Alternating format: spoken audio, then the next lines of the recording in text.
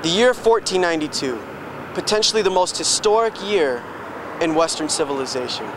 It was then that marks the date when European explorers sailed west, coincidentally discovering the Americas. This year also marks the beginning of a 500-year Spanish Inquisition, which was the expulsion of both Jewish and Moorish peoples from the Iberian Peninsula. Keith Chavez is an expert on crypto-Judaism, and he has done extensive research on Jewish people during the time of the Inquisition. We'd have to go back to the Columbus. Most of his crew, the, all the cartographers, the navigators, were Jewish.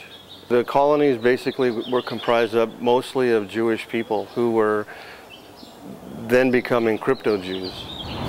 In fear of being executed by the Holy Office of the Inquisition, Jews not only hid their faith while living in Spain or Portugal, but they also carried this on into the Americas. Consequently, they created a dualism. They were forced into being Catholics certain parts of the, of the week, and then on the weekend, Friday and Saturdays, they secretly practiced the Jewish uh, customs and traditions.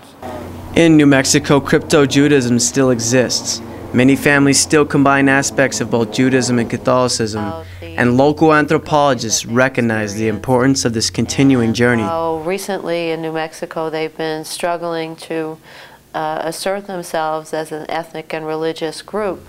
Although scholars debate some of the characteristics as well as the existence of crypto-Judaism, it is a fact that there are murals, DNA evidence, and religious artifacts that tell the untold stories of Jewish history in the New World.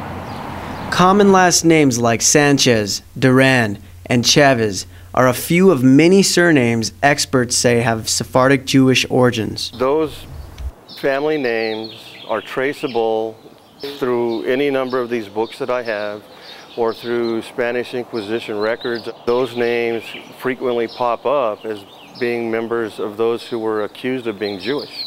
Keith Chavez is a frequent guest to UNM anthropological classrooms, and his presentation on crypto-Judaism has influenced many future researchers. And for some students, it has even led them uh, to rethink their own identity and even their career plans. So I've really appreciated his coming to my class. Thanks to the efforts of Chavez and others, New Mexico's hidden history is becoming well known.